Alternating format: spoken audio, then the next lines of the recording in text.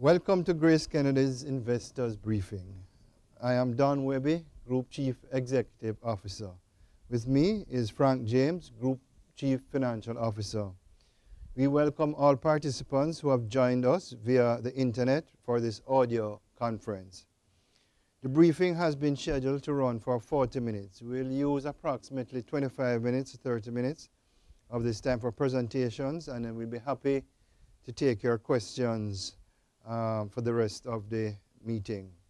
During the question and answer session, you are welcome to share your questions by emailing us at gkinvestor at gkco.com.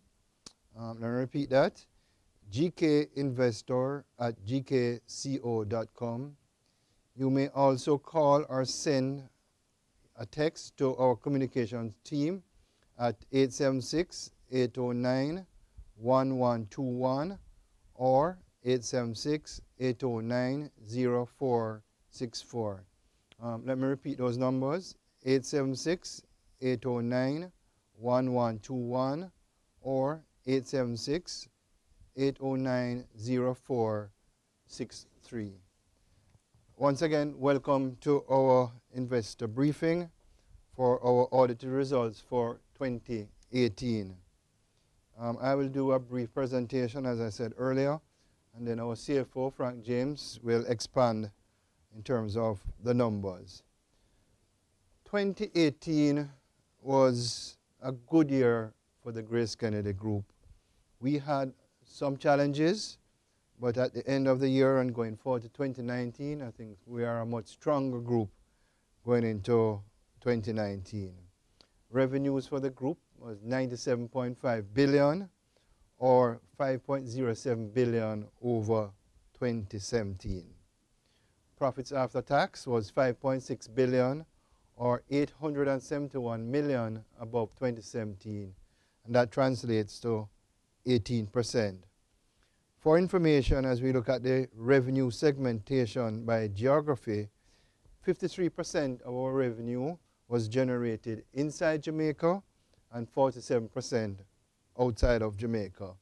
Remember, our global consumer group target is that we want 60% of our revenue outside of Jamaica and 40% inside Jamaica. This means that we are actually moving in the right direction. And this is not to say that we don't expect growth in both Jamaica and overseas, but we expect that our overseas market will be growing faster than our Jamaican market as it relates to revenue. What is pleasing about these results in terms of revenue, you'll recall a year or so ago we had set ourselves what we at the time described as a very ambitious target to be a 100 billion company in Jamaica, the first. Well, we are well on track. And in fact, I may be brave to say this afternoon to our investors that we believe that having set the target for 2022, we may in fact hit that target for 2019. This year, where the company could in fact produce 100 billion in revenue.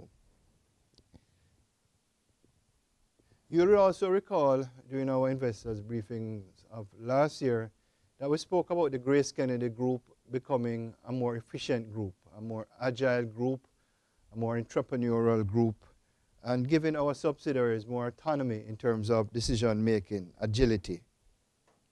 That exercise, uh, which we termed internally as Project Eagle, was completed in September of 2018 um, it had associated with it a one-off cost of 236 million.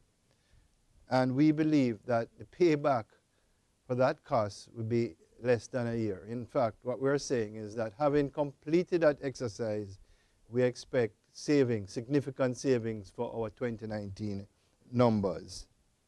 So having said that, our focus on 2019 will not only be to continue to grow the revenues, as I said, 100 billion is within sight, but we are looking now at efficiency, focusing on sustainable, significant increases in our profitability, cash generation, and also the Grace Kennedy dividend yield.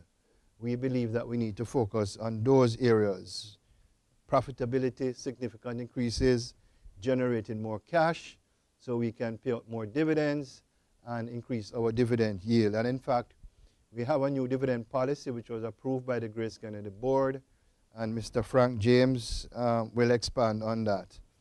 Another positive for us for 2018 was the movement in our stock price, our share price, where it increased by 44.50%, which was above the market index. I should have mentioned in terms of the profitability numbers of 5.6 billion, there is a non-recurring um, gain in that number, and I will, Frank, in your presentation, I'll ask you to expand on that and the dividend policy. We were also very successful last year in terms of our acquisition strategy, which we clearly outlined that this is going to be one of our growth strategies for the Grace Kennedy Group by looking at acquisitions which fit into our mission and our vision. So we acquired C CSGK acquired Globe um, Finance Company in Barbados, which um, now makes us um, a 40% shareholder in the largest merchant bank in Barbados. What we found very interesting and very beneficial to the Grace Kennedy Group is that when we acquired the company, the effective tax rate was 25%. After acquiring the company, the Prime Minister of Barbados, Honorable Mia Mottley, reduced the tax rate from 25% to 3.7% for our company, which means that the return on investment is going to be significantly, significantly enhanced by that reduction from 25% to 3.7% tax rate, which is exceptionally good. We also merged um, our manufacturing plant in the USA with a company by the name of Majestic Foods, which was one of the patty producers in South Florida. So our patties, which were being produced by Majestic Food, is now being produced by an associated company where we own 49%. Uh, listeners may be happy to know that our growth in the patties in the United States is actually 200%. That's the sort of growth that we're seeing with our patties, now found in Walmart, Target, and, and most of the multiples or the major chains over there. Our jerk wings will also be produced at our own factory in the United States. And the initial feedback that we are getting is that the jerk wings is also performing exceptionally well. Another acquisition that we did was Catherine's Peak, um, spring water. We believe that's extremely strategic for us. Uh, we did not have um, Grace Kennedy um, foods. We did not have a, a, spring water as part of our portfolio. Now we own 35% of, of Catherine's Peak here. For those of you who are seeing the camera, Mr. Cameraman, you can show the best water in Jamaica, please. Um, and Grace Kennedy Foods is now the exclusive distributor of Catherine's Peak. I'm happy to say that since the acquisition and the distribution by Grace Kennedy, um, the volume for Catherine's Peak has gone up year over year and over our expectations in terms of budget. You know, we speak a lot about investments and private sector investments, but I'm happy to say that Grace Kennedy, in terms of our capital budget for 2019, is 3.7 billion, 3.7 billion Jamaican dollars in new capital investments that we're making for 2019. This includes our effort again to become more efficient. It will include investments in software and new computer um, equipment. One of the game-changing investments that we will be making for 2019 is that we are going to have a new logistics center in the United States, um, in New Jersey, and by all indications, that is going to make our U.S. company more efficient in terms of the logistics, is going to impact in, our very, in a very positive way our margin management strategy, our working capital strategy, and our distribution costs per, per unit. I believe that will be reflected certainly in our results for the USA business in 2020 and beyond. By the way, we are expecting to move into that new warehouse um, sometime in July, so we'll get some benefits for 2019. Also, those of you who are visitors to downtown Kingston, you'll see our new corporate headquarters, GKCHQ, is almost complete. In fact, we were hoping to moving, move in um, on April 1st. Um, I've been informed by our project manager that that has now been delayed for eight, by, to April 15th, um, but we are very happy of the progress that, that has been made. For information, um, we're going to have a, um, a retail center uh, in the building for Grace Kennedy. So you're going to have a Hi-Lo express. So those of you who work um, in downtown Kingston, you can stop by the building and pick up your, your groceries from Hi-Lo. Uh, we're going to have our GK1, our money services, uh, an agent branch for First Global Bank, our insurance, um, and, and, and Western Union. So, colleagues, in summary, our strategy is sound, is solid. The management team and the board, uh, we are executing well on it. And I really believe that 2019 is going to be an excellent year for the Grace Kennedy Group based on the strategies and the plans that we have in place. Again, growing our revenues, sustainable significant increases in profitability and cash generation and dividend yield will be our focus for 2019. I'm now going to ask uh, Mr. James to speak to us a little bit more about the numbers and then we'll be happy to take some questions after. Frank, over to you. Thanks very much, Don. As Don indicated, we had our revenues up 5.5% or $5.1 billion. And this was driven by two of our four segments where we had growth in revenue. We had declines in banking and money services in terms of revenue. Our pre-tax profits were up just under 20%, 19.7% or $1.14 billion and our net profits, as Don indicated, reached $5.6 billion, up over 18%. This drove an increase in our earnings per share of 22%, just over $5 per share. Don mentioned that we had some non-recurring gains, and listeners will recall that in 2017, we had the successful acquisition of Consumer Brands Limited, which brought with it the Procter & Gamble portfolio, and we recognized a gain on that in 2017, as well as the liquidation of some non-operating subsidiaries. So we had total non-recurring gains of 455 million in 2017.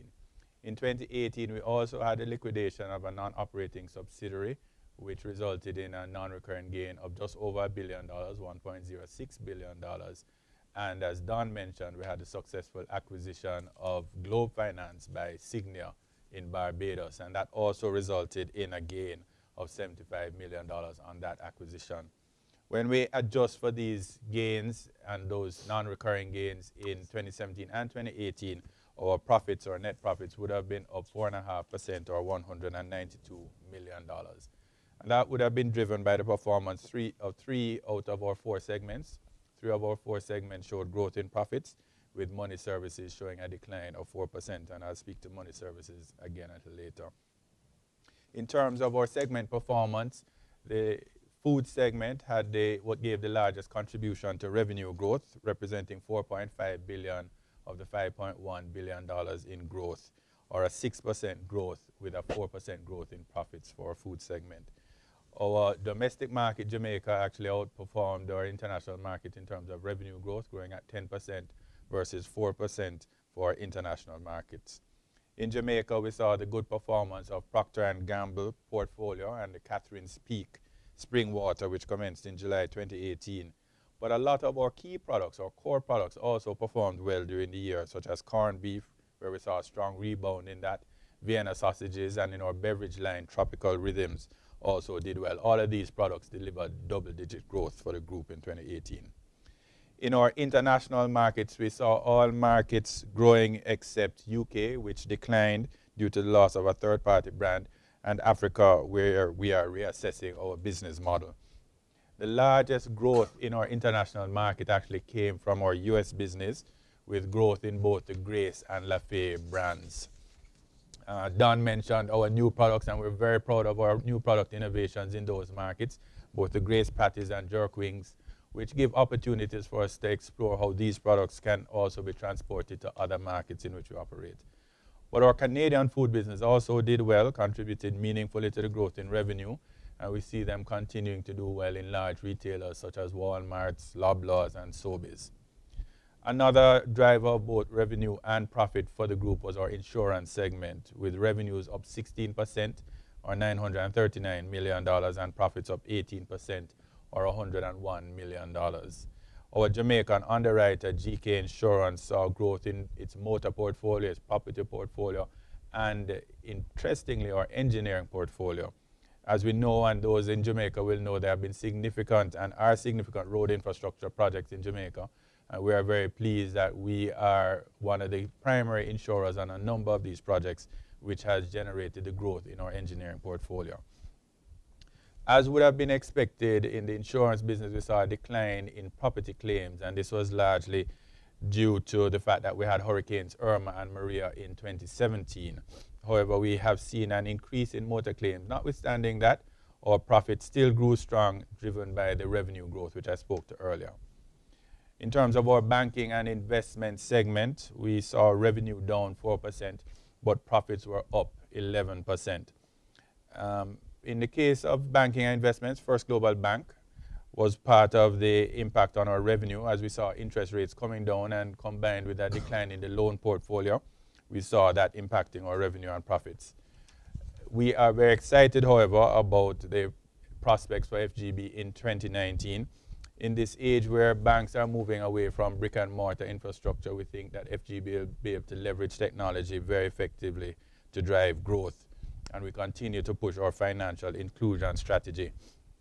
The profit performance for the banking and investment segment was largely driven by our investment banking arm, GK Capital and GK Investments, which performed well, as well as Signia Financial in Barbados. In the case of money services, we saw revenue down 2% and profit down 4%. Uh, Jamaica and Trinidad were down in transaction volumes as we continue to enhance compliance measures, which we are confident will benefit our customers and the business. We are also very pleased, however, with our Ghana market, which did very well and is an important market for us in money services and generally.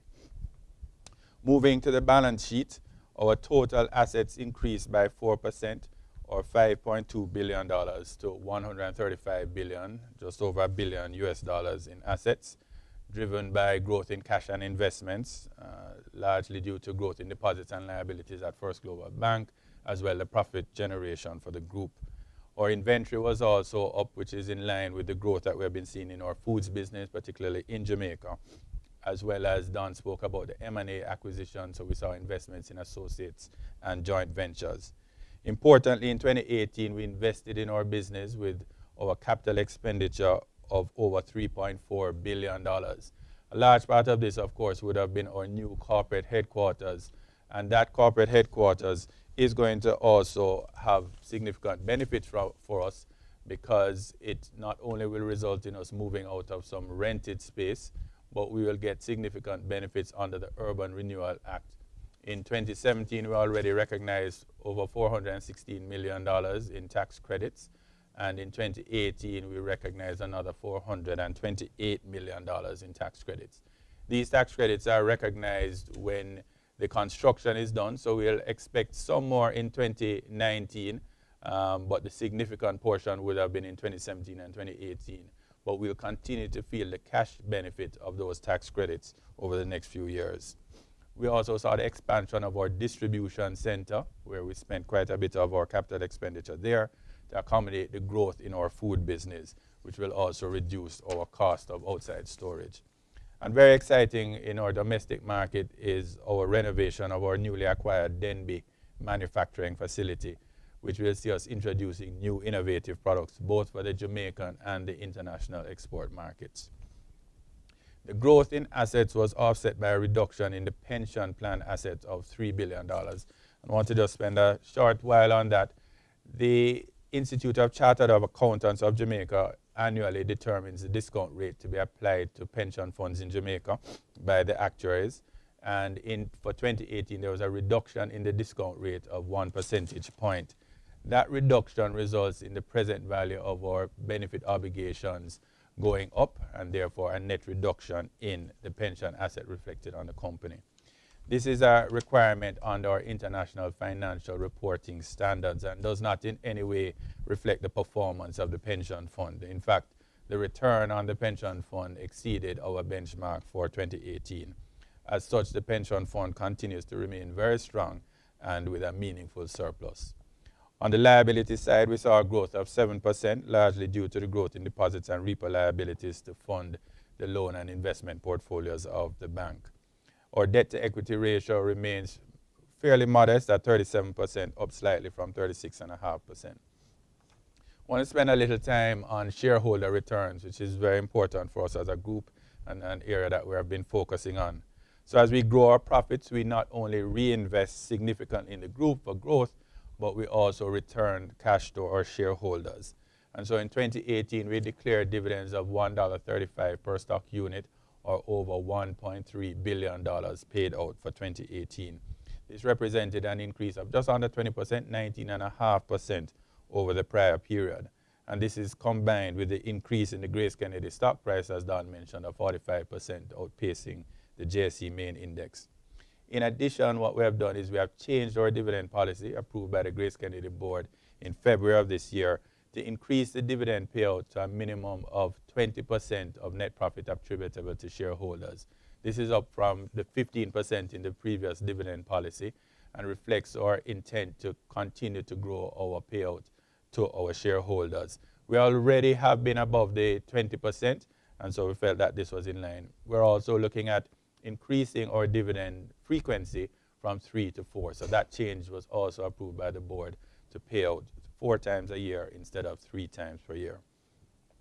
While we saw a significant increase in the share price for 2018, we still see upside for the Grace Kennedy stock as our price to book is at approximately 1.4 times with market multiples ranging in the three to four times and our price earnings multiple at 12.6 times with market multiples in the range of 18 to 19 times. So we still believe there is good upside for the Grace Kennedy stock. Our equity position continues to be strong, notwithstanding a slight reduction in our equity of 1.4%, ending the year at $44.6 billion. The reduction was primarily due to the implementation of IFRS 9 and 15, which reduced shareholders' equity at the start of the year by just under $1 billion. Don, those are the highlights. Thank you very much, Frank. That was very, very comprehensive. Now, can we ask if there are any questions? Okay, we have a few here. Um, the first one is about HILO and the current issues or status of the roadworks. So, um, so we have um, two HILO stores that were affected. Uh, one is being affected by by the roadworks. The first one was our Barbican HILO store. Um, that was affected last year primarily, where our revenues dipped to as much as 30% less than the previous year. Um, I'm, I'm, happy to say with the roadworks now complete, uh, we are ahead of where we were before. So that is good news. Um, Manor Park, um, as you know, there's a lot of roadwork being done by Constant Spring. Um, while we have not seen um, a drop in revenue at this point in time, it is expected that, that it will have an impact on our Manor Park store.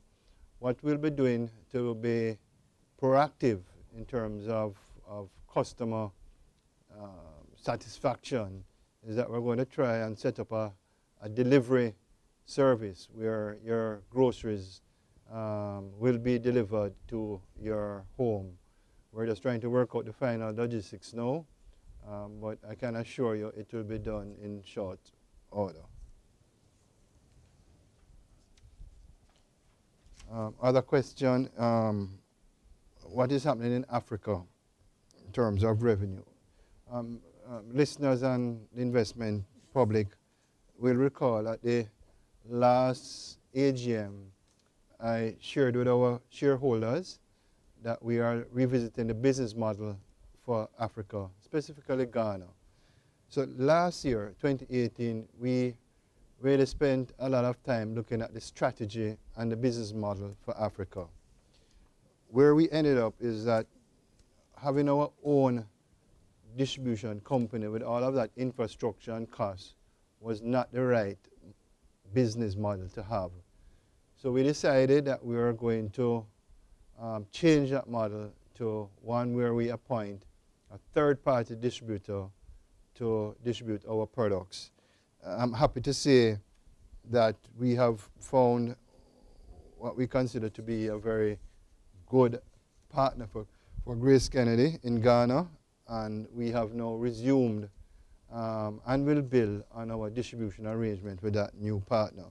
So in the accounts um, for 2018, yes, you'll see a, a, fall off in revenue. I think it's from about 125 to 29 million. Although in the scheme of things, that's insignificant um, to the Grace Kennedy Group. But I've set some targets for my team, and I expect that 29 million um, to grow with this new arrangement that we have in place. Uh, in, in, the, in your report, you noted that um, handwriting is terrible. you noted that the you noted that the UK the UK revenue fell off. Um, what is the reason? And you specifically mentioned nourishment. Okay, so UK the revenue fell off primarily for two reasons. The first one is that we lost um, one of our principals, Yeo's, which was really um, for our subsidiary a, it was an Oriental brand, and the owners of that brand um, decided that they want to use another distributor. What have we done to replace that revenue? We own our own Oriental brand in the United Kingdom. Um, the name of the brand is Silk Road. We have relaunched that brand, and I must say, um, early indications are that it is performing well. The other thing, the other strategy that we did, we actually um, got another um, Oriental brand in terms of a principal representation, which is commonly referred to uh, as LKK, Lee Kum Kee, which is a, a much larger brand than, than, than yours, but we did not get it on an exclusive basis as we had with yours. I believe, however, um, having received that, that, that, that arrangement with LKK, and this is for the independent ethnic retail sector, which is really our forte, our expertise in the UK. I believe that the potential of LKK to fully replace um, yours, along with our own silk, um, our, own Silk Road brand, um, is very possible, and I may go as far as say it's very, very likely that that will happen within another year or two. So in terms of UK and the revenue, um, yours, Silk Road, um, our own brand, and LKK. The other challenge that we had last year in terms of revenue for the UK was our brand Nourishment, which is a milk-based drink.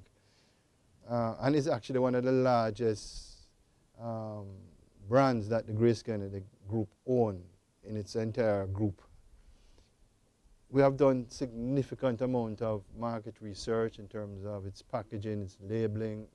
Uh, we have met with our customers, the cash and carries, the multiples, etc. And we're basically looking at what I would describe as refreshing the packaging of the product. And that's what the surveys and the feedback um, has been saying to us. And that is now in train. The, the fall off in revenue um, has now stopped. And in fact, we are noticing for the first two months of 2019 um, an increase in the revenue for nourishment. So we expect that nourishment will have um, with the strategies that we're implementing, we expect that it will have a, a decent year for 2019 and we're looking forward to even further growth um, beyond. We get this question every investor's briefing. I, Frank, I'm going to ask you to start. How does GK predict the Jamaican dollar? You, you go. All right, thanks very much, Don. I, what I would say is that we have noted as a group with concern the level of volatility in the exchange rate. And we think for effective planning, it's important that we have greater stability in the exchange rate. While we appreciate the importance of inflation targeting and the need to focus on that, there's also a need from the private sector perspective that we are able to plan effectively. So having the currency move from $7 in one month in one direction and move $8 in the other month in another direction really makes planning or pricing or purchasing a very difficult activity. And it's important that we have that level of stability if we're going to be able to effectively plan our business. That said, the Grace Kennedy Group is fortunate that we have a very effective natural hedge because as an importer of finish, as an importer of raw material, as an exporter of finished goods, we have a natural hedge. And where it becomes necessary, then we also look at how we use financial hedges. But as a group, we're a net seller into the market and we have a natural hedge in the group based on our export sales. Yeah, I, I think um, Frank is, is spot on. Um, predictability. When you have volatility of an exchange rate, whether in either direction, it, it's a concern. It makes difficult the business environment, uh, both from a food point of view and from a financial services point, point of view. Usually, when we talk about predictability, uh, we look at the differential in inflation rate between our major trading partners and use that inflation differential in inflation rate as more or less as a proxy for where the rate should be or the, the right value for um, the foreign exchange rate. And we have noticed um, throughout the Grace Kennedy group um, that, uh, that, that, that band has been exceeded a number of times in either direction. So Frank is right. Predictability is the key. Having said that, um, Grace Kennedy, we're actually net sellers of foreign exchange in the market through our Western Union business and our export business of, of food. So um, the finance folks describe it as a natural hedge, but I think it, you know, it's, it's really a big, big strength for the group um, when you're actually having satisfied all your foreign exchange needs, you're selling significant amount of foreign exchange in the market. And if I may say so, um, I think the Jamaican economy um, needs more exporters to earn more foreign exchange. And then that predictability that we mentioned earlier will become natural. Um, Frank, there's a question here for you. Uh, what kind of savings does the group anticipate from the new head office, specifically the Urban Renewal Tax Relief Act? Right. Thanks, thanks, Don. So the benefit under the Urban Renewal Act comes in a number of ways. We actually get one third of the capital expenditure, approved capital expenditure as a tax credit. And so in 2017, we benefited by to the tune of 416 million. In 2018, 428 million. These benefits are realized in the year of construction. And as Don indicated, we're planning to move in in this year. So we would see a small amount in this year. Uh, however, we'll continue to benefit from the, the cash effect of that through to 2026. Um, we also will benefit from interest, from a lower interest rate on the construction costs because the interest on those bonds that we issue under the Urban Renewal Act is also tax-free to the investor. In addition to that, our offices in New Kingston that are rented space, we will be coming out of those offices and moving into this building and we'll save on that rental. And under the Urban Renewal Act, we also get the rental income in the building also has a tax benefit to the group.